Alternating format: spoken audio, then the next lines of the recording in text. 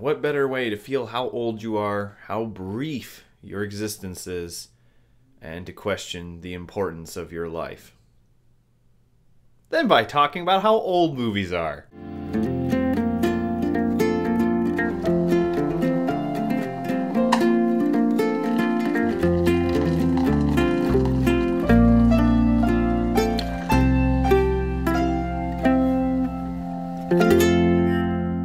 Hey guys, this is a new segment I thought about starting, mainly because I saw that The Dark Knight turns 10 years old this year in July, and that made me feel old as hell. So I thought that I would do a segment talking about movies that turn 10 years old, some that we know, some that we don't, and I thought this would be a kind of an interesting retrospective and also really kind of hit you in the gut early in the morning, reminding you how old you are. So this will be a short little series I do throughout 2018 talking about movies that came out in 2008.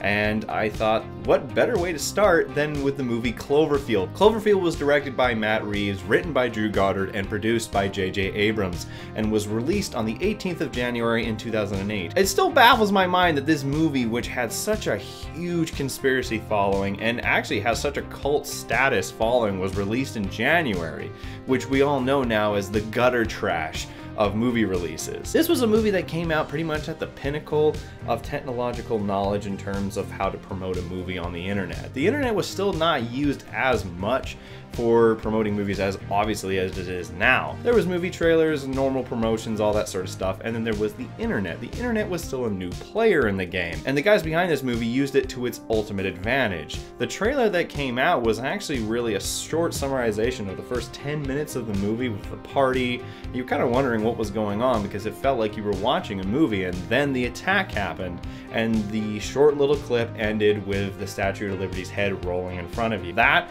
hooked everyone. Especially the fact that they didn't give the movie a title either at the end of the trailer. They just said when the movie was coming out. Absolutely fantastic. It did, however, leave a website. What it had was a lot of fake promotional videos and photos of animal attacks, sightings of a giant creature and whatnot, but it didn't really allude to anything. It just left you little Easter eggs inside. And obviously, this blew up on the internet. People were theorizing what it was, they were wondering if this was a Cthulhu movie, they had all of these ideas.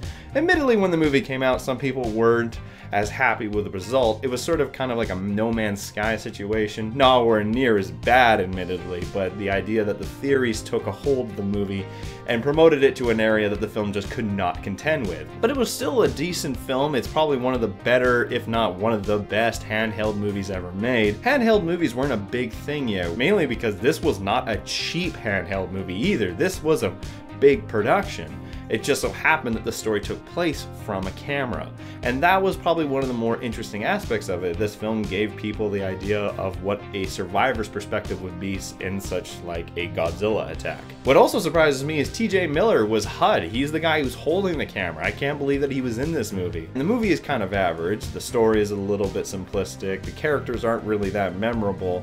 And really, you're more interested in what's going on with the monsters, the whole mystery, everything of the aspect of the event is much more interesting than the characters themselves. But like I said, the movie is a gem of its promotion, as it is something that we will probably never experience again. Because of the vast limitations of the internet, nothing can be kept secret anymore. People are able to figure out plot twists and all other manners of secrets in films nowadays that so easily can be shared on the internet. And because of that, that's what makes Cloverfield all the more memorable is because of its promotion and just what it means in terms of promotion to film, as well as just an era that was very brief because not too long after Cloverfield, the internet just took over and it became the main conduit of promotion for films. Anyways, guys, that's the end of the first episode of Movies That Are 10 Years Old Now. I'm gonna try and make this a regular thing because 2008 was an interesting time for me.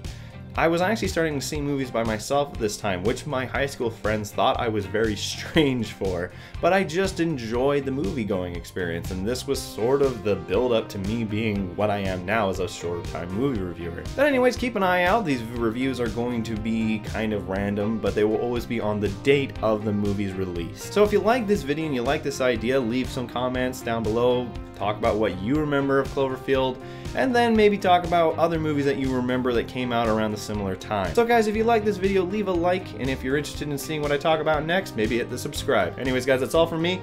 I'll see you on the next video.